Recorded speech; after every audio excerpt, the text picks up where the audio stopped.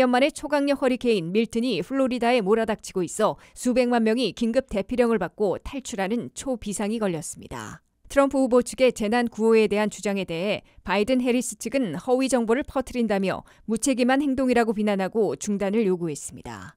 미국인들의 기대 수명이 회복되고 약물 사망은 줄었으며 암 생존율이 높아지는 등 더 건강해진 것으로 나타났습니다. 바이든 행정부가 메디케어 수혜자에게 최대 2달러로 제공되는 제네릭 의약품들을 공개했습니다. 월마트가 반려동물 관리 서비스 센터를 더 오픈해 계속 확장해 나갈 것이라고 발표했습니다.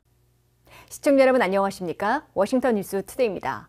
100년 만에 초강력 허리케인 밀튼이 플로리다에 몰아닥치고 있어 수백만 명이 긴급 대피령을 받고 대규모 탈출하는 초비상이 걸렸습니다. 플로리다 11개 카운티 590만 명에게 긴급 대피령이 내려져 대피하려는 차량들로 한쪽 도로는 줄을 잇고 있고 공항과 항구 등은 미리 폐쇄되고 있습니다. 류령아 기자가 보도합니다. 허리케인 헬린이 남긴 대재앙 상처가 아직 아물지도 않은 상황에서 그보다 더 강력하다는 허리케인 밀튼이 같은 지역으로 몰아닥치고 있습니다. 허리케인 밀튼은 현재 최고인 5등급으로 시속 165마일의 초강력 강풍과 폭우를 토해내고 있어 100년 만에 가장 강력한 괴물 허리케인으로 꼽히며 공포를 안겨주고 있습니다. 허리케인 밀튼은 수요일 밤과 목요일 새벽 2시 사이에 플로리다 중서부에 있는 탐파 바로 아래 사라소타 지역으로 상륙해 더 큰 타격을 입힐 것으로 예보되고 있습니다. 플로리다에 상륙할 때에는 3등급으로 약해지지만 시속 125마일의 초강력 강풍과 폭우를 몰아치게 되고 내륙에선 1등급으로 떨어지지만 시속 85마일의 강풍을 몰아칠 것으로 예상되고 있습니다. 허리케인 밀트는 18인치의 엄청난 폭우를 토해내고 헬린 때보다 더 높은 15피트, 그 5미터의 폭풍 해일을 몰아쳐 스치는 곳마다 초토화시키는 대재앙을 안겨줄 것으로 우려되고 있습니다. 100년 만에 초강력 허리케인으로 꼽히자 플로리다 주 내 11개 카운티의 거주민 590만 명에게 의무적 긴급 대피령이 내려졌습니다. 이에 따라 플로리다 주요 도로에선 밖으로 나가는 한쪽 방향에만 대피 차량들이 꼬리에 꼬리를 물고 있습니다. 주유소에선 휘발유가 바닥나 차량들이 엉켜 있었고 대형 유조차가 긴급히 투입돼 주유를 재개하는 모습을 보였습니다. 밀튼의 경로에 있는 탐파와 사라소타, 동쪽의 올랜도 공항들에서는 벌써 수요일에만 1,700여 편의 항공기 운항이 취소됐고 아예 공항을 폐쇄할 채비를 하고 있습니다. 항공사는 예약한 고객들에게 여행을 미룰 것을 권고하고 있고 올랜도 디즈니월드 역시 폐쇄됐습니다. 크루즈 선박들은 다른 코스로 항로를 바꾸고 있습니다. 론 드샌티스 플로리다 주지사는 주방위군 8천명을 동원해 허리케인 밀튼이 가져올 대재앙에 대비하고 있는데 주 사상 최대 규모의 동원으로 밝혀 전시를 방불케 하고 있습니다. 워싱턴에서 조 바이든 대통령은 독일과 아프리카 앙골라 순방을 전격 취소하고 자연재해 대처에 총력전을 펴도록 지휘하고 있습니다.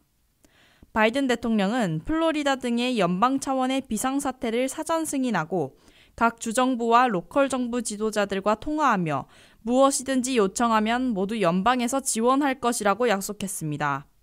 연방 긴급재난관리청 FEMA 요원들은 지난 월요일부터 플로리다 현지로 급파돼 최악의 허리케인 밀튼에 의한 대재앙이 발생하면 신속한 구조와 구호, 복구 작업을 펼칠 채비를 갖추고 있습니다.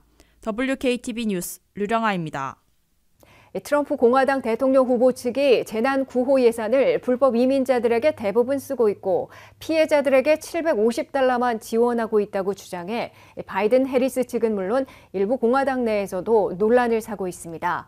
해리스 민주당 후보는 트럼프 후보의 허위 주장이라며 극히 무책임한 행동이라고 비난했고 FEMA의 구호와 복구 노력에 심각한 타격을 가하고 있다며 중단을 요구했습니다. 한면태 기자의 보도입니다. 허리케인을 비롯한 자연재해, 대재앙은 대선 승부를 판가름할 중대 변수의 하나로 꼽히고 있습니다. 그러나 실제 잘못 대응하는 것을 비판하는 것은 자연스러운 것이지만 유권자 특히 이재민까지 오도하는 허위 주장을 널리 퍼뜨리고 있어 거센 논란을 불러일으키고 있습니다.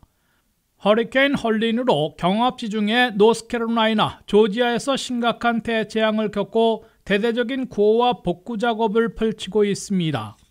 도널드 트럼프 공화당 후보는 지난 토요일 첫 암살 시도의 현장인 펜실베니아주 버틀러를 다시 방문해 초대형 유세를 펼치면서 국가 재단에 대처해야 하는 피마의 예산이 파장났는데 거의 모두 불법 이민자들을 위해 썼기 때문이라고 주장했습니다. help from our federal government because they have no money because their money's been spent on people that should not be in our country. 또한 연방 당국이 엄청난 피해를 입은 주민들에게 고작 750달러만 제공하고 있다고 거짓 정보를 퍼지게 하고 있습니다.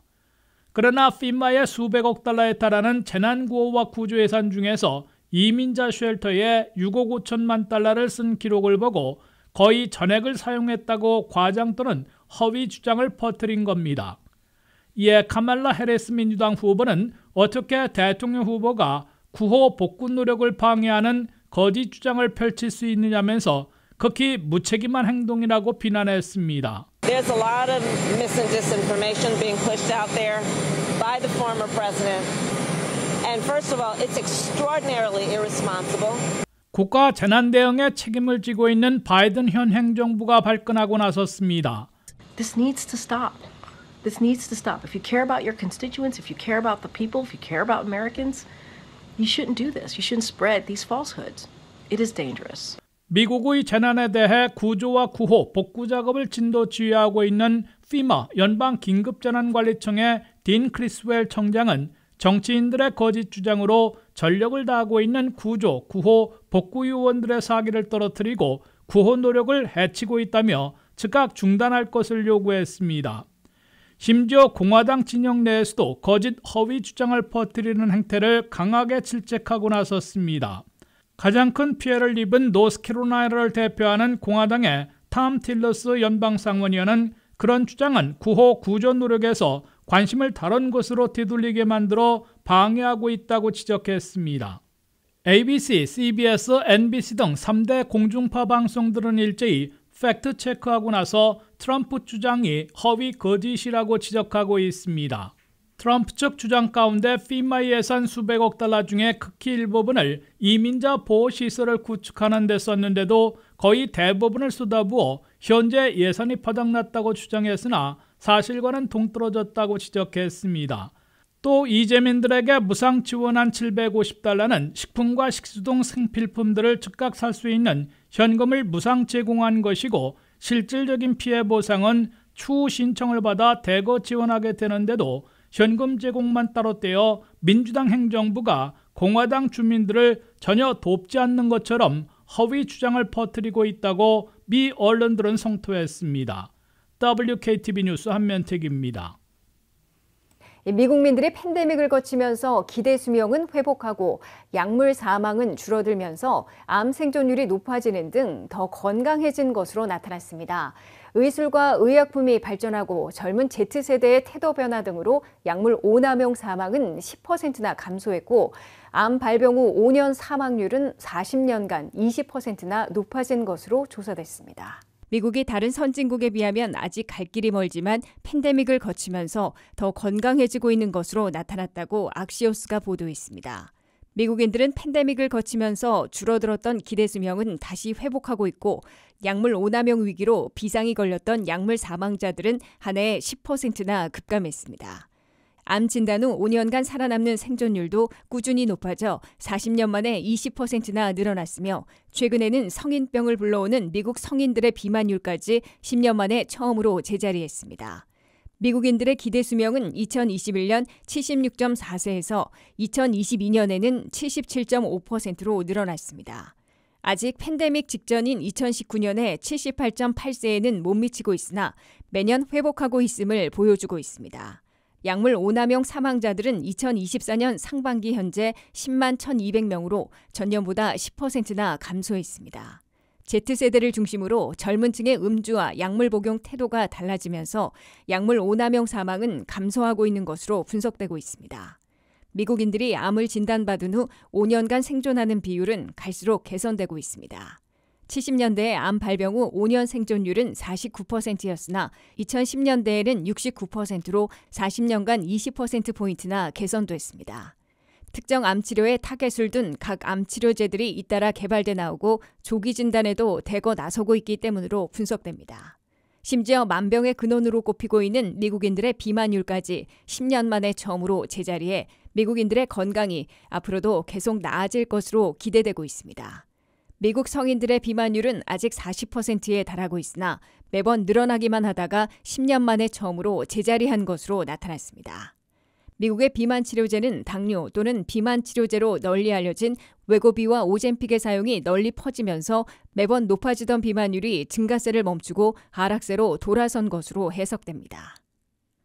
바이든 행정부가 시범 프로그램에 따라 메디케어 수혜자들에게 최대 2달러의 저렴한 가격으로 제공되는 제네릭 의약품들을 공개했습니다.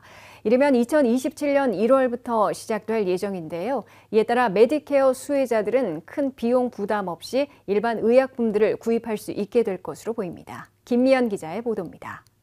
의료보험 및 의료급여 서비스센터 CMS는 시범 프로그램을 통해 의료보험 수혜자에게 2달러에 제공할 예정인 제네릭 의약품의 예비 목록을 공개했습니다. 이르면 2027년에 시작되는 이 프로그램의 약물 목록에는 페니실린, 메트포르민, 리튬, 알부테롤 천식 흡입제와 같은 일반적인 처방이 포함됩니다. 이 중 35개 약물은 혈압과 기타 심혈관 질환을 치료할 수 있습니다.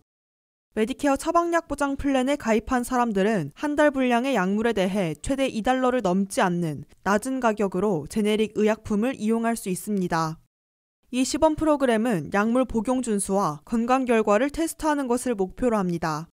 고콜레스테롤, 고혈압 및 기타 만성 질환에 대한 일반적인 약물을 포함하는 이 이니셔티브는 저렴한 제네릭 의약품을 제공하면 노인의 약물 복용 준수와 건강을 높일 수 있을 것으로 기대되고 있습니다. 최근 의회 예산국 보고서에 따르면 약물 비용을 줄이기 위해 일반적으로 거론되는 인기 있는 정책들은 평균 가격을 미세하게 낮출 것으로 보입니다. 하지만 미세한 절감도 중대한 결과를 가져올 수 있습니다. CBO에 따르면 2031년까지 소매 약물 시장은 6,900억 달러 이상으로 성장할 예정입니다. 또한 메디케어의 수혜자 약 95%인 4천만 명이 해당 목록에 있는 약물에 대한 처방을 제출한 것으로 밝혀졌습니다. CMS 부국장이자 혁신센터 소장인 리즈 파울러는 2달러 약물 목록의 초기 버전은 앞으로 포함될 목록의 시작점을 나타낸다고 말했습니다. 또한 CMS는 메디케어를 가진 사람들의 일반적인 상태를 치료하는데 많은 약물을 포함할 예정이며 약물 목록이 완성되면 주기적으로 업데이트할 예정이라고 밝혔습니다.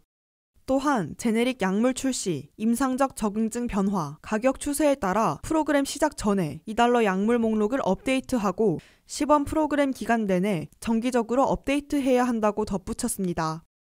WKTV 뉴스 김미현입니다. 이 월마트가 애틀란타 지역에서만 운영했던 반려동물 관리 서비스 센터를 다른 지역까지 확대한다고 발표했습니다. 이에 따라 앞으로는 월마트에서도 애완동물 케어를 받을 수 있게 됐습니다. 월마트 측은 저렴한 가격으로 서비스와 다양한 제품들을 제공해 고객들의 수요에 부응하고 있다며 서비스뿐만 아니라 관련 제품 판매율도 높아지고 있어 계속 확장해 나갈 것이라는 입장을 밝혔습니다. 류령아 기자의 보도입니다. 대형 소매점 월마트가 애완동물 케어 사업 확장에 돌입했습니다. 월마트는 작년 애틀랜타 지역에서 첫 번째 애완동물 서비스 매장을 오픈했는데 많은 사람들의 방문과 재방문율을 확인한 후 10월과 11월 초에 5개의 애완동물 서비스 센터를 더 오픈할 것이라고 발표했습니다.